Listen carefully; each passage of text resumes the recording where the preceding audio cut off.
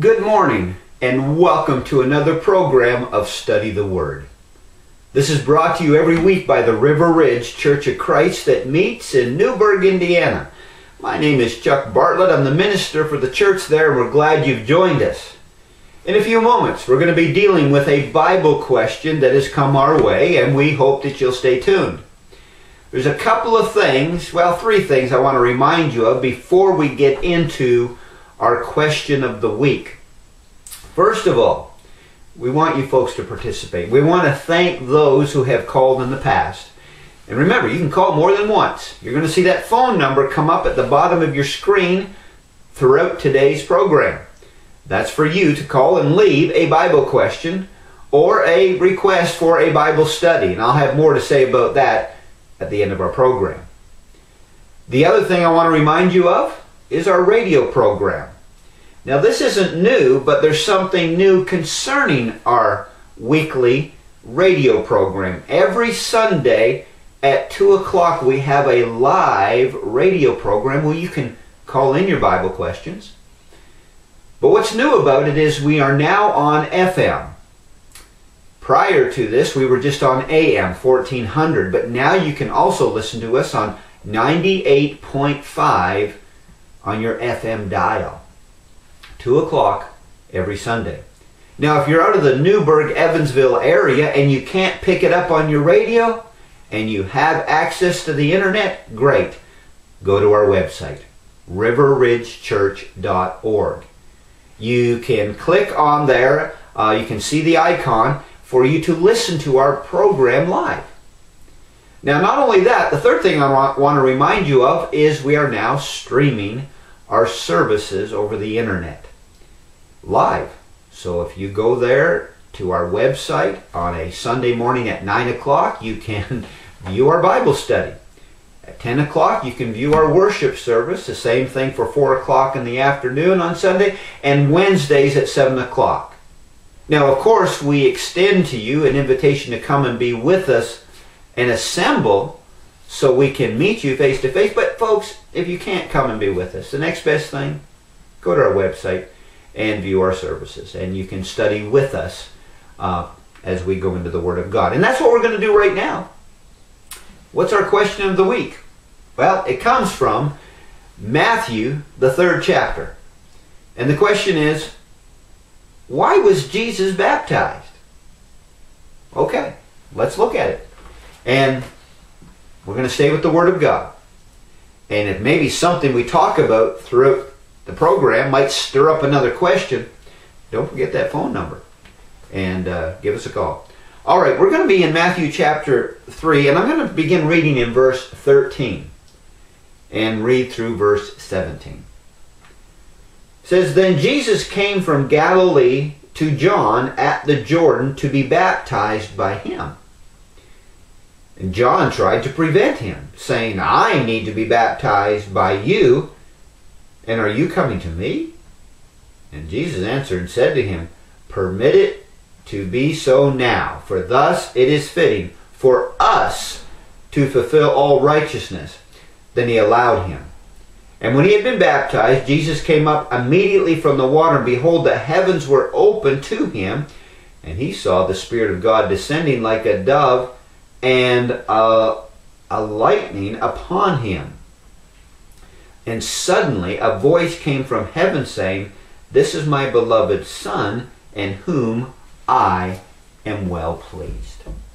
All right. Now I'm going to give you the quick answer that will I will expand upon in the second half of the of our program. The quick answer is the reason why Jesus was baptized was to fulfill all righteousness. Well, what does that mean? Well, I'll get there in a moment. I think it would be helpful to us to learn some of the things that um, people might misunderstand. So the best thing to do is let's point out clearly why Jesus was not baptized. I mean, some of the reasons why he was not baptized. And we are going to look at the reason why he was baptized in just a few moments. Well, first of all, if we open up our Bibles and go to Hebrews, the fourth chapter, we are going to learn um, something that I'm sure is not surprising to you, our viewers today, but in connection with our question as to why Jesus was baptized, well, it had nothing to do with the fact that he needed his sins remitted because we read in Hebrews, the fourth chapter, and in verse 15, For we do not have a high priest who cannot sympathize with our weaknesses, but was in all points tempted as we are, yet without sin. Jesus never sinned, never broke any of God's laws. Therefore, when he came to John to be baptized by him, well, no wonder John was kind of surprised. What? No, I don't want to baptize you. He, didn't really want to baptize Jesus. Matter of fact, he says, look, if anything, I need to be baptized by you. So John recognized that there was something different about Jesus because John did baptize people because of their sins. And uh, a lot of people would actually came to to John to be baptized um, for the uh, for the remission of sins or unto the remission of sins. It was a it was a valid baptism at one time, and I'm getting a little bit ahead of myself, and I'll talk about that in a moment. But see, John is recognizing this that I'm baptizing people who are sinners, and you're coming to be baptized by me. Well, John was right about that. I mean, Jesus did, need, did not need to be baptized for the remission of their sins. Well, there's something else that we notice about Jesus' baptism when he came to John, and, I'm going to go over to Romans, the sixth chapter, and that he did not get baptized by John to be baptized into himself. See? Well, of course he didn't. Well, that's why we need to go to Romans chapter 6 because it talks about people being baptized into Christ. And so we're, we're establishing that Christ's baptism is different than any others. Different from the people that John baptized. Different from people who are being baptized today. And so we're covering a wide spectrum of things in our study today, which is why this is a great question. Why was Jesus baptized? Now, in Romans chapter 6, he tells us in verse 3, Paul tells the brethren there, Do you not know that as many of us that were baptized into Christ Jesus were baptized into his death? Therefore we were buried with him through baptism into death, that just as Christ was raised from the dead by the glory of the Father, even so we should also walk in newness of life. If we've been united together in the likeness of his death, certainly we shall also be in the likeness of his resurrection. So Jesus was not being baptized into his own death and then rising up in newness of life. Not at all. What John, or excuse me, Paul was talking about over here to these Roman brethren in uh, Romans chapter 6 was, remember when you guys were baptized? And myself, because he used the word we. We were baptized into Christ's death and we rose up in newness of life, just like when Christ died and resurrected. Now, we're reading about the baptism of John, or excuse me, of Jesus by John back in Matthew, the third chapter, which was close to three years, three and a half years before Jesus even died. So we know that's not, that's not why Christ was baptized. And another reason Jesus was not being baptized to be born again. Now, the Bible does talk about the necessity of water in the process of being born again. And I'm thinking of the book of John. Let's go over there quickly to John, uh, the third chapter. And he talks about this in verse 3. Jesus answered and said to him, Most assuredly I say to you, unless one is born again, he cannot see the kingdom of God. And Jesus said in verse 5, Most assuredly I say to you, unless one is born of water and the Spirit, he cannot enter the kingdom of God. And so I guess, was that why Jesus was baptized? No, Jesus was not baptized to be born again. That relates to the first point. Jesus was not being baptized for the remission of his sins. He was not separated from his Father at all. And uh, And I think that we need to make one more point before we establish, well, just exactly why was it that Jesus was baptized. Well, let's clear one more thing up by going to the book of Acts, the 19th chapter. And I'll tell you what Jesus was not doing on this occasion. He was not being baptized by John to prove to people that John's baptism is something you need to do. Folks, John had been baptizing a lot of people prior to this. And so that's not why he did it, and we're going to look at some passages that will help clarify that in a moment. And it wasn't to, to tell people that John's baptism was going to be valid for all times, and that's why I'm going to be baptized by John. So all people from all future generations will know that John's baptism is what we need today. That's not why Jesus was baptized by John, and I know that. Why? Because in Acts chapter 19, we read in verse 1 it happened while Apollos was at Corinth that Paul, having passed through the upper regions, came to Ephesus, finding some disciples. And he said to them, Did you receive the Holy Spirit when you believed? And they said to him, We have not so much heard whether there is a Holy Spirit. He said to them, Into what then were you baptized? And they said, Into John's baptism. Paul said, John indeed baptized with a baptism of repentance, saying to the people that they should believe on him who would come after him, that is, on Christ Jesus.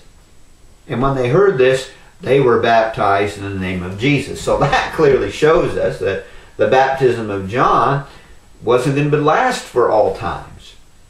It was only going to last until the death of Jesus, and that's when we are baptized into Christ for the remission of our sins. Acts 2 and verse 38 and, and scores of other passages. And if you want some more information on that, I'll be glad to give it to you.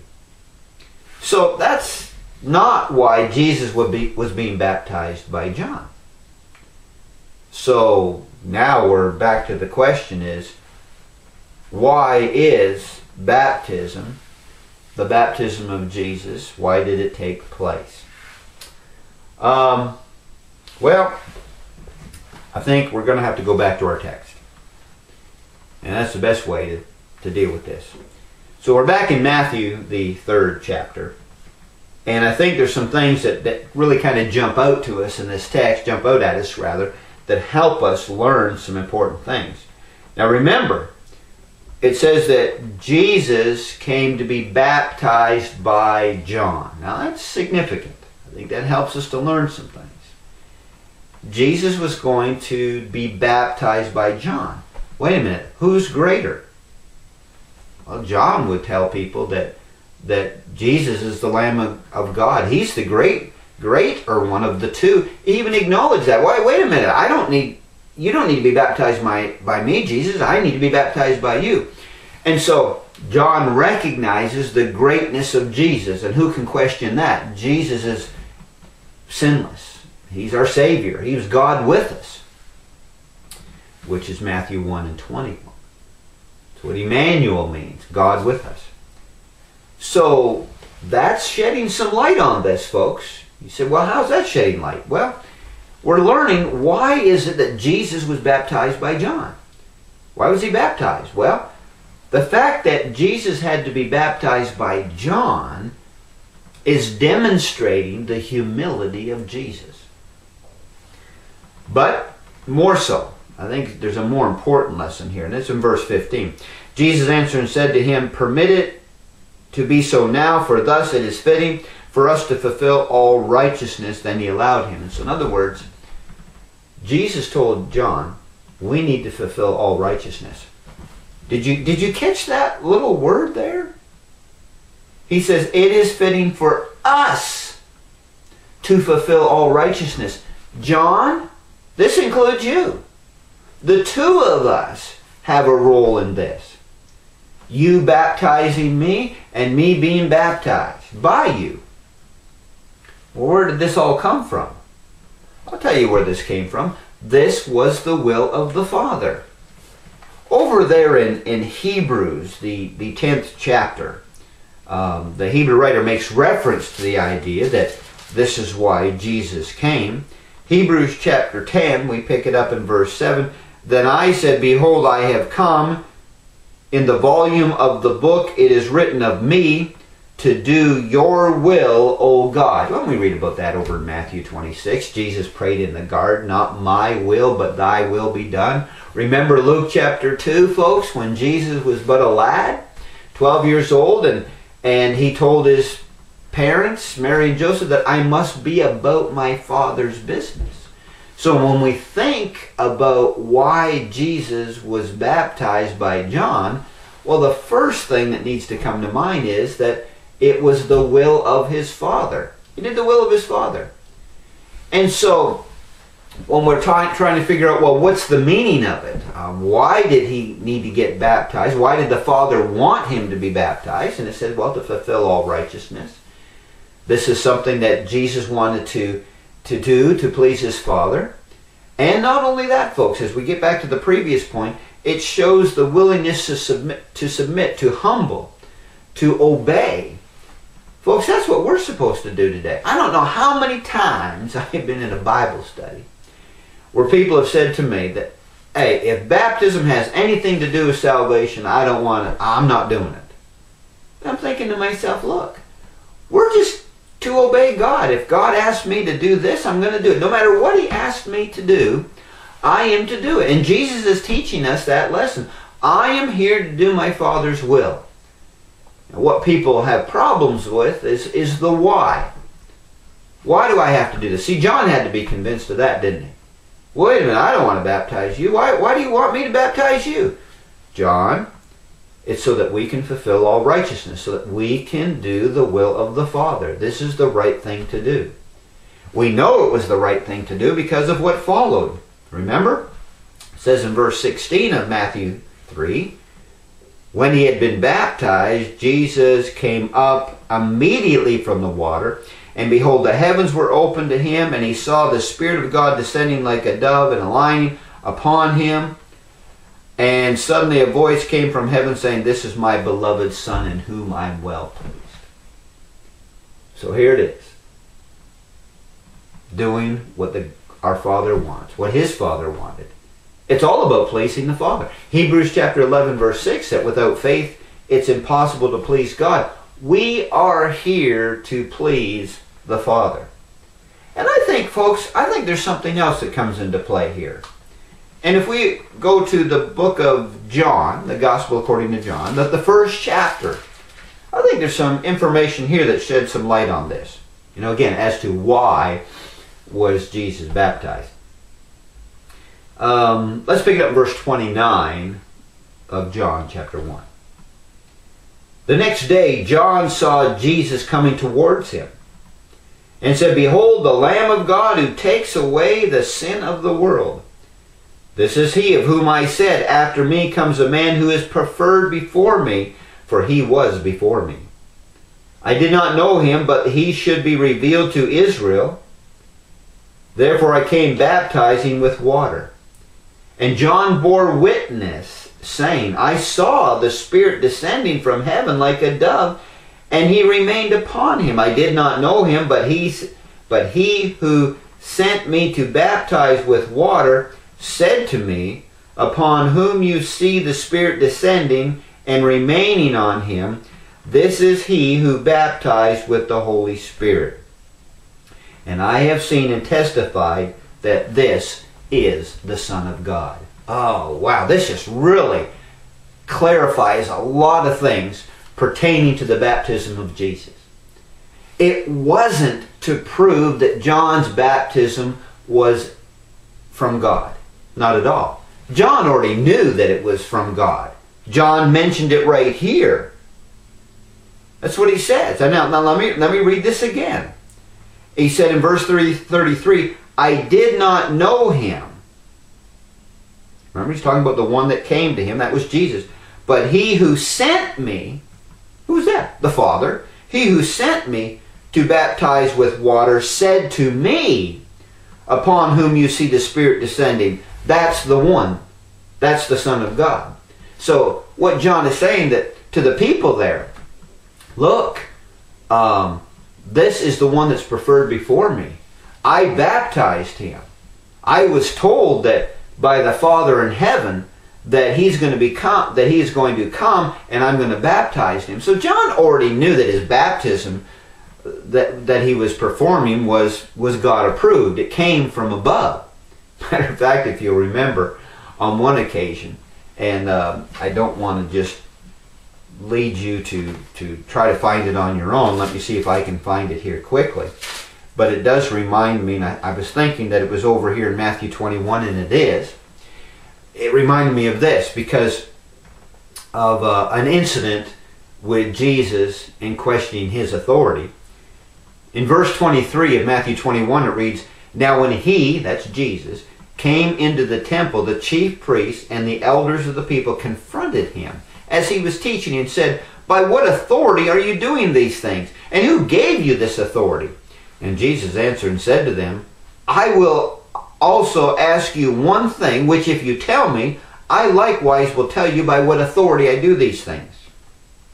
The baptism of John, where was it from? From heaven or from men? And they reason among themselves, saying, If we say from heaven, he will say to us, Why then did you not believe? But if we say from men, we fear the multitude, for all count John as a prophet. So they answered Jesus and said, We do not know. And he said to them, Neither will I tell you by what authority I do these things. Jesus uses an example about John's baptism. And he asked him, The baptism of John, from heaven or from man? That's the point. The baptism of John came from God. And that's what he mentioned over there in John, the first chapter. And so, another reason that was pointed out there for the baptism of uh, Jesus by John was so that John would also know that this is Jesus, the Christ. Uh, because he said, I did not know him, but the one who sent me, which was the Father above, says when you do baptize him, you're going to see the Spirit descend upon him. And John's telling the crowd there, I saw that. And did, isn't that what we read over there in Matthew, the third chapter? It said immediately the heavens were opened to him, and he, John, uh, saw the Spirit of God descending like a dove and lying upon him. So John witnessed this. And John's job was trying to teach people about Jesus. Remember, prepare the way? And that's what we read over there in Acts the 19th chapter. When, when Paul ran into people who were baptized under John's baptism, and people shouldn't have been teaching at that time because Jesus had already died and ascended back into heaven, and so the baptism of John was no more. Now we have the baptism of Christ, that we're to be baptized into Christ for the remission of our sins, to be born again, to become a Christian. And in Acts chapter 19, they were pointed out there that no, no, you do not have John's baptism anymore you need to be baptized into Christ. And that's significant, folks, because that really helps us clearly understand the question that we've been spending time talking about today, the baptism of Jesus. Why? Why, why was he baptized? And we noticed and established that his baptism was not for the same reasons we're baptized. Some similarities what do you mean? Well, the word baptism. The word baptism means to immerse. John took Jesus and he baptized him. He had to submit. And that's part of our obedience. We have to submit to the will of God. We need to humble ourselves. And John needed to do his job. There was a lesson there for John too, was there not? See, it wasn't for just Jesus to to um, submit himself to the, the lesser, in other words, that would be John. But John needed to know that, no, no, you need to do this. Even though Jesus was greater than John, John, why are you doing this? Because that's what God wants. And folks, we can say that we're clothed with humility and say, oh, I just, I just don't feel worthy to, to baptize somebody or, or somebody says that, well, I don't want them to baptize me. Folks, we're leaving God out of the equation. We just need to do His will. And remember, nobody, today can have their sins remitted unless they're baptized into Jesus Christ for the remission of their sins. Acts 22 and verse 16. 1 Peter 3.21, baptism does also now save us. But remember, just like in John's time, you know, John ran into people that just wanted to go through the motions. And people today who just want to go through the motions of being baptized, they might just go down a dry center and come up a wet center If their heart's not right, there are prerequisites. There are things you need to do first. John ran into this even with his baptism. Over there in Matthew chapter 3, same passage, we find that people were coming to him. And um, let's pick it up in verse 7. He says, But when he saw many of the Pharisees and the Sadducees coming to his baptism, he said, You brood of vipers, who warned you to flee from the wrath of come? Therefore bear fruits worthy of repentance. What are you doing here getting baptized? You need to get your heart right. And that's what we learn over there in Acts chapter 8. The Ethiopian says, There's water. What hinders me from being baptized? Things can hinder you. You still go through the motions and say, Well, let me just get baptized and maybe later on I'll get my heart right. No, no, no, no, no. You first need to believe in Jesus Christ and repent of your sins. Turn and follow Him. Confess Him with your mouth. And Then you can be baptized for the remission of your sins. And then serve God faithfully.